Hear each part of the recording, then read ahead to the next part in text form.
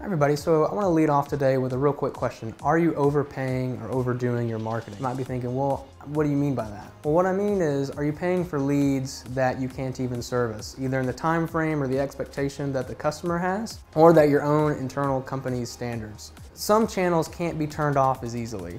Uh, Google SEO, uh, Google Maps, if you're ranking really well and coming up in search, especially for seasonal businesses, you can expect leads to come in pretty organically uh, through those channels. So they can't really be turned off as much. But if you're doing Google ads or Facebook ads or other um, paid campaigns, um, you really want to make sure you're monitoring those campaigns, especially for seasonal businesses.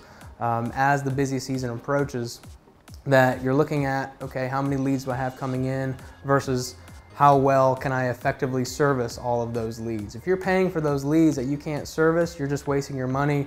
Um, they're going to go to a competitor and that competitor is then going to have the opportunity to service them and create a new customer for life for them. Make sure you're monitoring that. If you're not a numbers person, um, make sure you find somebody in your office or bring in some outside help that can look at the numbers, look at the traffic, look at the data, and let you know as a business owner what you need to do, where you need to go, and where you need to dial back, or where you need to push a little bit harder.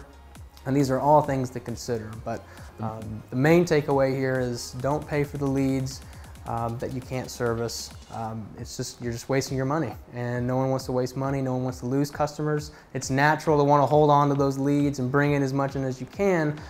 But if you can't service them, you're just wasting it, and that doesn't that doesn't help anybody. So hope this helps. See you next time. Thanks.